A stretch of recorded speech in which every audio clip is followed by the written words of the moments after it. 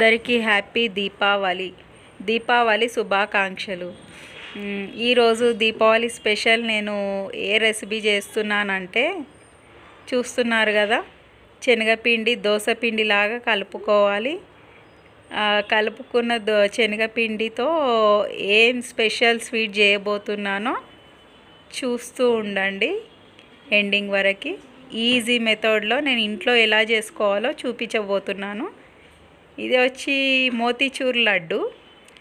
మోతీచూర్ లడ్డూకి కావాల్సిన ఇంగ్రీడియంట్స్ శనగపిండి half KG తీసుకున్నాను. దోసపిండిలాగా కలుపుకోవాలి. సాల్ట్ వేయొద్దు. ఓన్లీ పిండి మాత్రమే వాటర్ వేసి కలుపుకోవాలి లూజ్గా. కలుపుకొని ఇలా డీప్ ఫ్రై చేసుకోవాలి. జల్లిగంటతో ఇంట్లో ఉన్న జల్లిగంటతోటే చేసుకోవచ్చు. మనం స్పెషల్గా బూందీ గరిట అవసరమే లేదు. ఇంట్లో ఉన్న వాటితోటే ఈజీగా చేసుకునే ఈ స్వీట్ రెసిపీ. చూడండి నేను ఎలా చేస్తున్నానో చూస్తుండండి. అయితే మనము ఎలాగైనా వేసుకోవచ్చు మోతీచూర్ లడ్డూకి నూనెలో ఇది అతుక్కపోయిన బజ్జీలాగా వచ్చినా ఏం కాదు. కాకపోతే మరీ ఎక్కువ డీప్ ఫ్రై కావద్దు. అయితే ఇలా మామూలుగా ఇలా వస్తే సరిపోతుంది. మామూలుగా ఫ్రై కావాలి. ఎక్కువ మాడగొట్టేటట్టు చేసుకోవద్దు బూందీని మోతిచూర్ లడ్డూకి. మామూలుగా పచ్చి వాసన పోతే సరిపోతుంది. ఇలా అంతా ఫ్రై చేసుకున్న తర్వాత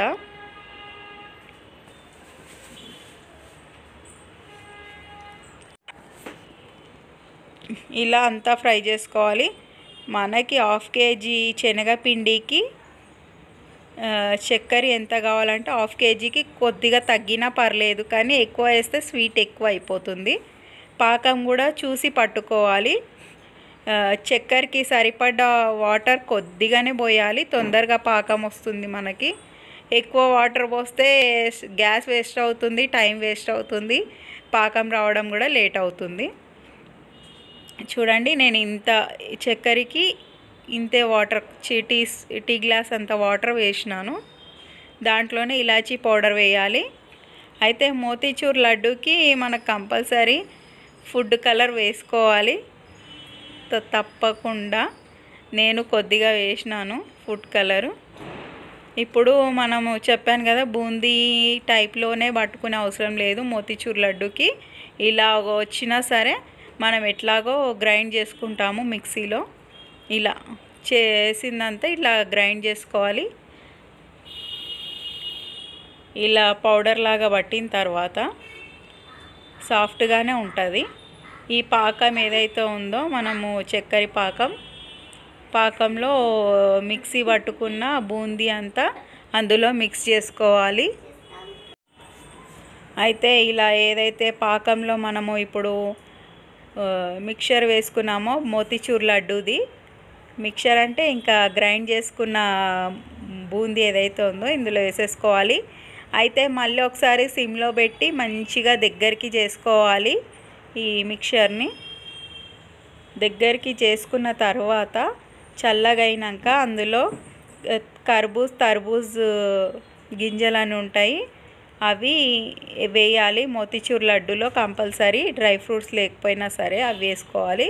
తర్వాత కొంచెం నెయ్యి అందులో కలుపుకొని చల్లగా అయినాక ఇలా లడ్డు కట్టాలి. హాఫ్ కేజీ పిండికి హాఫ్ కేజీ కొద్దిగా తక్కువ చక్కెర. పాకం ఎలా పట్టుకోవాలో చెప్పాను కదా ఆ విధంగా పట్టుకోండి. సూపర్గా వస్తాయి. స్వీట్ షాప్లలో వచ్చినట్టే మోతీచూర్ లడ్డు వస్తుంది మనకి. హాఫ్ కేజీకి క్వాంటిటీ మనకి ఒక ఫిఫ్టీ లడ్డు వరకు వచ్చినాయి.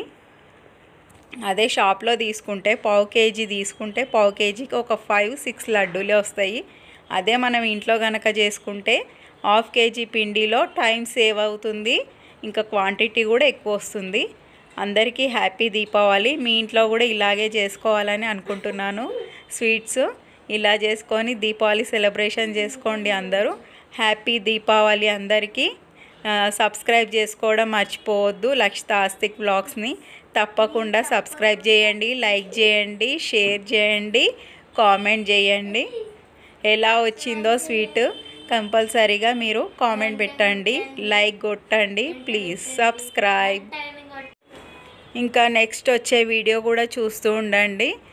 కంపల్సరీ ఈ దివాళీ రోజు మేము ఇలా సెలబ్రేషన్ చేసుకున్నాము ఇంట్లో చేసుకున్న రెసిపీతో.